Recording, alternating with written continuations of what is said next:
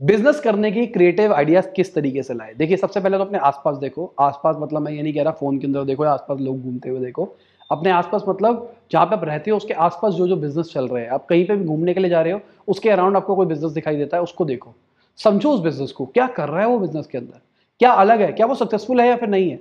और अगर वो सक्सेसफुल है तो क्या चीज़ उसको सक्सेसफुल बना रही है? अगर वो फेलियर है तो क्या चीज़ उसको फेल कर रही है?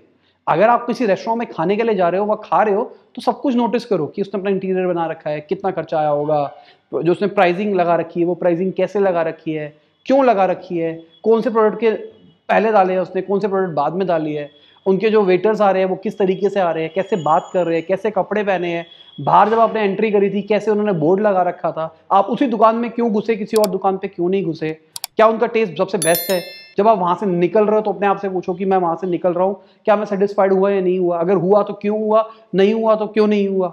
तो उससे क्या होगा? आपको क्लैरिटी मिलनी शुरू हो जाएगी। इतने सारे आइडियाज़ आने लग जाएँगे। और ये जो आइडियाज़ है ना, ये हर एक इंडस्ट्री में यूज़ हो पाएँगे। ज़रूरी नहीं है आप एक रेस्टोरेंट में खा के आए हो तो आप रेस्टोरेंट ही खोलना है। रेस्टोरेंट का आइडिया आप डिजिटल मार्केटिंग एजेंसी में भी लगा सकते हो।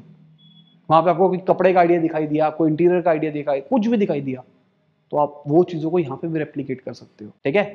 तो अब बेसिक स्ट्रक्चर दे दिया आपको मैंने, पर मेहनत तो आपको ही करनी पड़ेगी आइडियाज़ ढूँढने पड़ेंगे। ढूंढो कि कोई बिज़नेस किस तरीके से अपने आप को अलग कर रहा है और आप कैसे अपने बिज़नेस को या फिर जो भी आप करना चाहते हो, उसको अलग तरीके से कर सकते हो। वहाँ का आइडिया उठा के, अपने आइडिया के साथ में जोड़ के नया आइडिया बना लो।